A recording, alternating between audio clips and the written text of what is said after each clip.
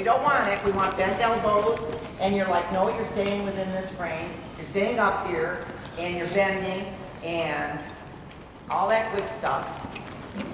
Good, good, good, this side she's much better. And that is so weird, because this is her stiff side. But I've seen that. This is good. Yeah, easier to do for some reason. But she's probably pushing against the right leg a little bit. Yeah, yeah, that's funny. Well, that I understood.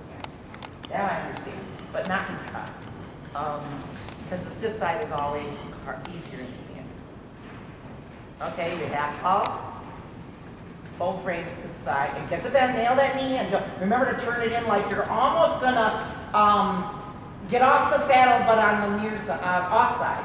Okay. You see what I mean? Yeah. You, you almost feel like I'm lean, I'm, no need, don't let me say that. Just Just sort of step into it like you're going to, Just you always step into it. Yes, that's what we missed on the other side. Okay. Stepping into, don't lift, lift your left heel so high. It's already high, so don't lift it.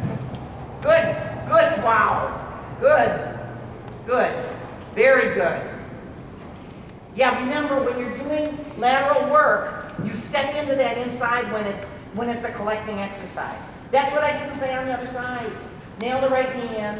I'm sorry. Let me try it one more I have a chemo brain. My, that's my defense. I'm sticking to it. I remember it, I know it, but I don't always. Yeah, yeah, leading me. I did say leading me, but I didn't say step into the weight. Yeah. So let's step into the weight on this side.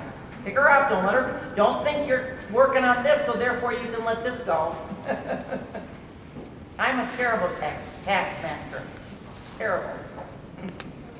Circle half halt. Now do it. Now nail the knee in and weight the left. Yeah, much better. A little better. Much better. It was much better. Okay. Actually, I could see all four legs.